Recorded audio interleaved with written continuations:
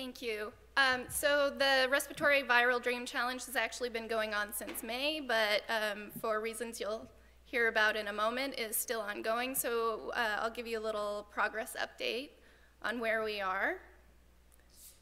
So just a little motivation. Um, acute respiratory tract infections um, are most commonly caused by about 10 different viruses, and the average adult has about two or four colds a year.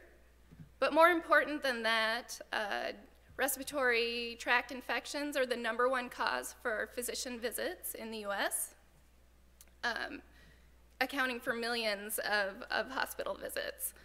Um, so any effort to um, identify early stage predictors of infection, either uh, prior to um, prior to onset of symptoms or even uh, predicting which patients will get sick uh, when exposed to virus uh, can have both treatment, uh, treatment effects um, and uh, can be useful in pandemic situations.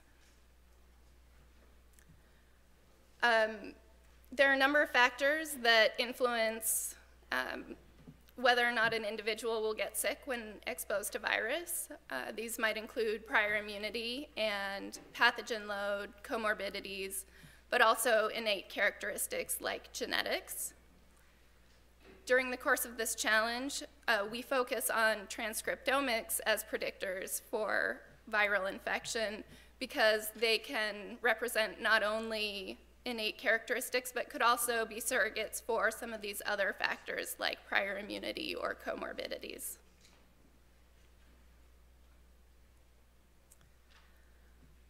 Gene uh, prior work has shown gene expression signatures that uh, can well differ differentiate patients who become sick from patients who don't after viral exposure. But these signatures uh, typically become active about 36 to 40 hours post-exposure. Uh, so we wonder, can we identify earlier stage predictors of, of viral infection, either um, prior to the rise of symptoms or even uh, innate characteristics before viral exposure. So we instituted the Respiratory Viral Dream Challenge and this challenge utilizes human viral challenge data.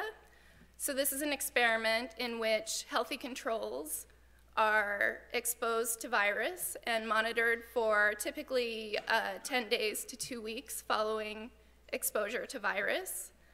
Uh, I guess this is my pointer. Um, and you can see that some patients will become ill when exposed to virus, while others uh, remain well throughout the uh, course of the, the challenge.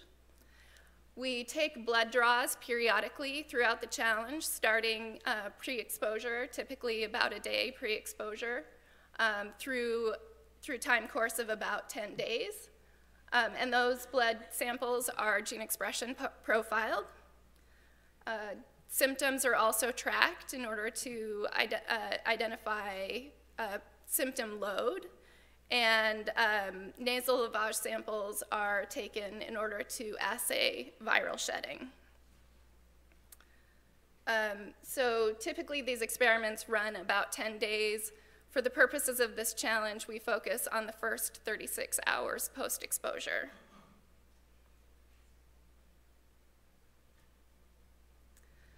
So this plot shows, uh, sorry, I should say, uh, the data that we used came from seven different experiments uh, representing four different viruses. So this plot shows each of the, the seven data sets and the uh, number of samples available, uh, gene expression samples available at each time point.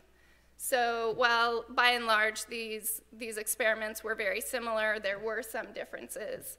And this uh, um, gave an opportunity not only for answering an important scientific question, but um, from the modeler's perspective, gave us uh, an opportunity to uh, innovate time series um, uh, prediction models.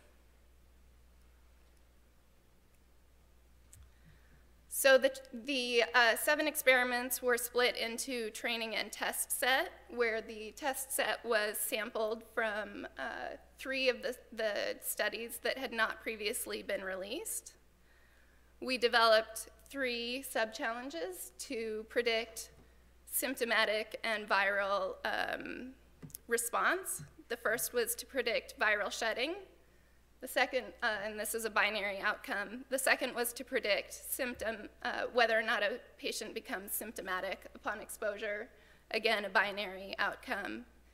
And uh, thirdly, we asked them to predict the uh, log symptom score, so the, the burden of symptoms that, uh, that follow um, exposure to virus.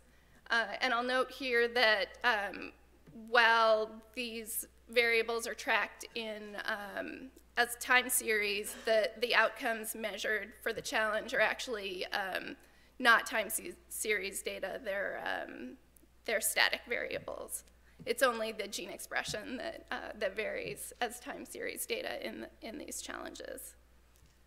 Uh, we also had a very limited number of um, demographic and um, clinical data as well, but the primary predictors here are the, G the time series gene expression data.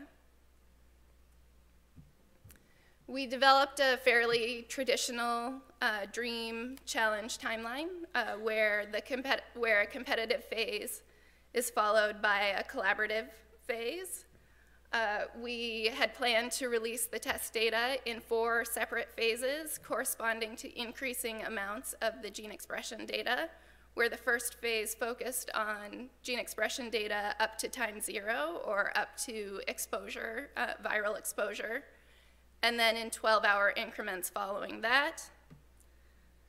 However, we hit a little hiccup um, just prior to the release, uh, the planned release of the test data, in which the entire test data set, uh, not just the 36 hours, but throughout the course of the uh, experiment were released on Geo by uh, an unrelated party, or a party unrelated to the challenge.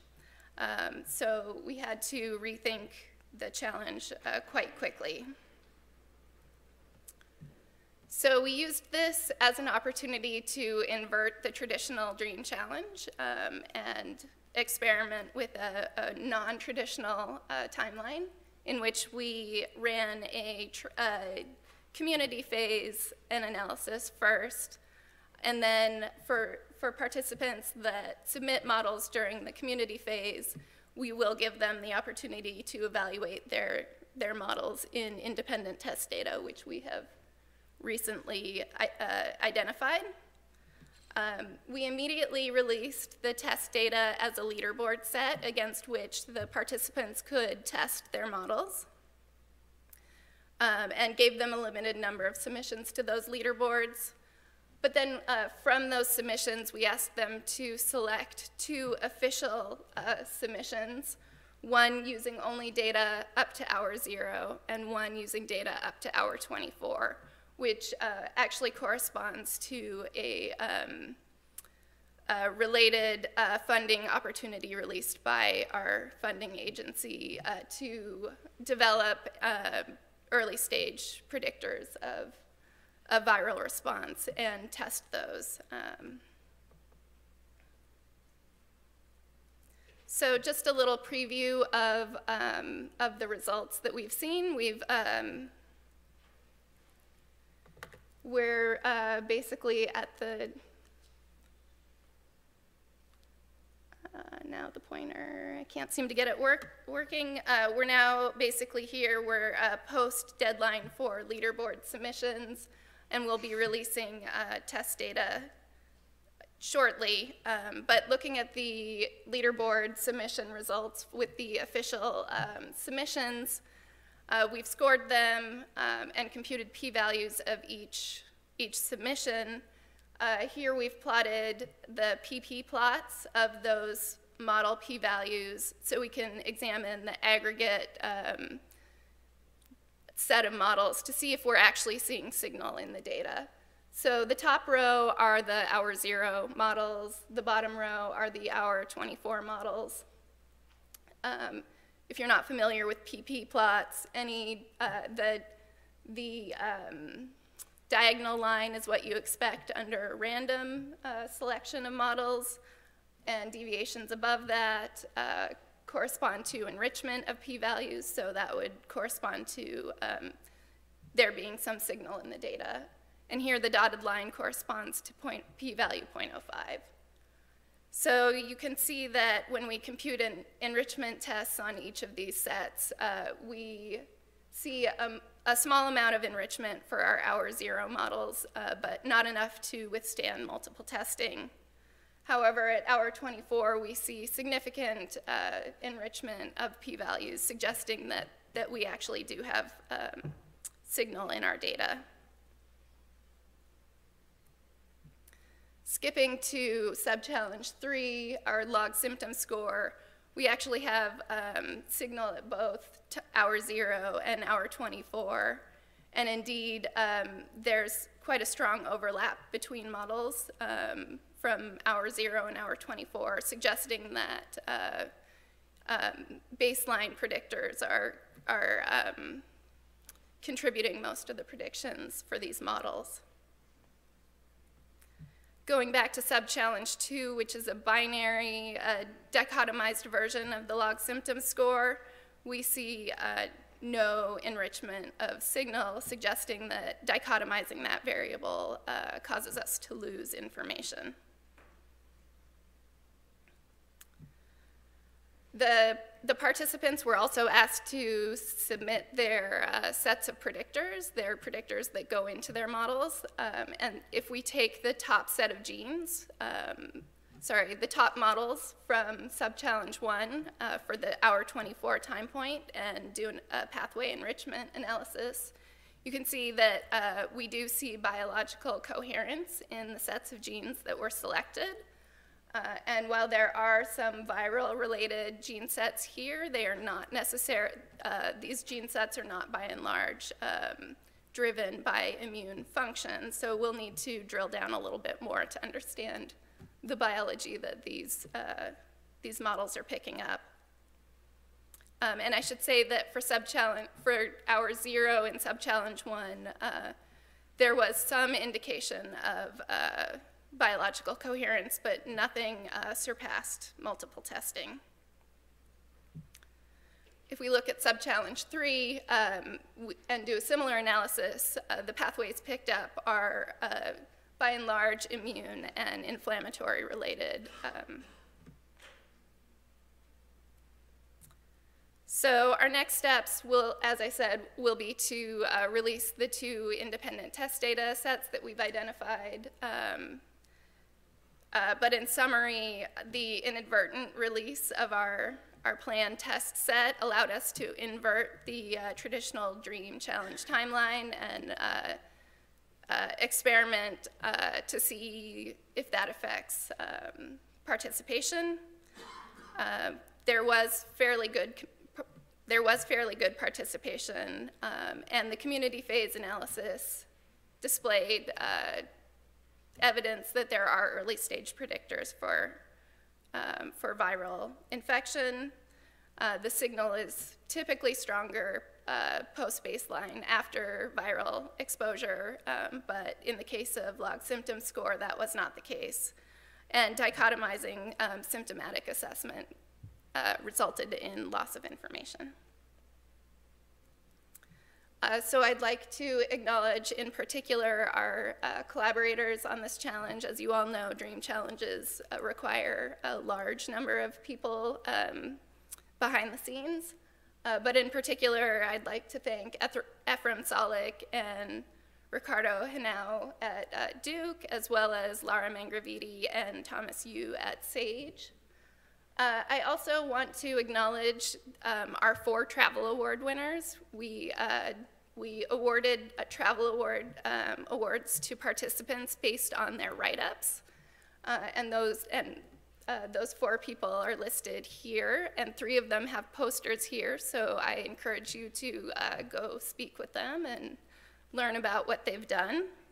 And uh, lastly, thank our, our funding agency, which is DARPA.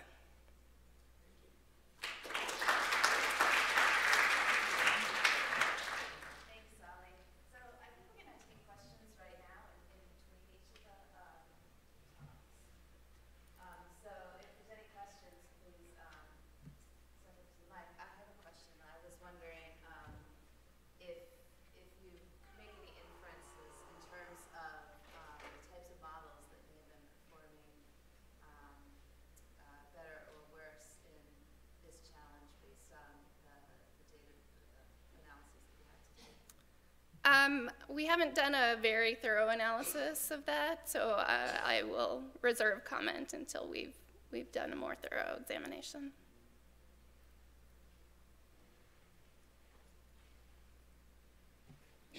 Does that work? I, I'm not sure. So the, my question is like, so in this challenge, actually, uh, what was the motivation behind uh, uh, using time zero data? Because this is just prior to exposure, right?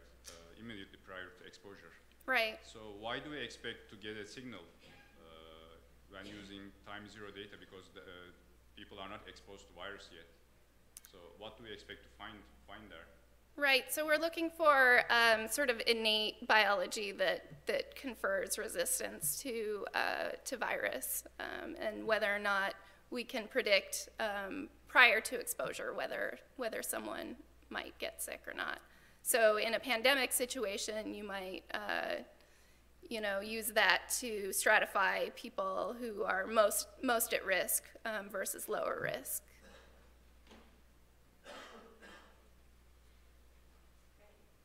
Thanks, Solly.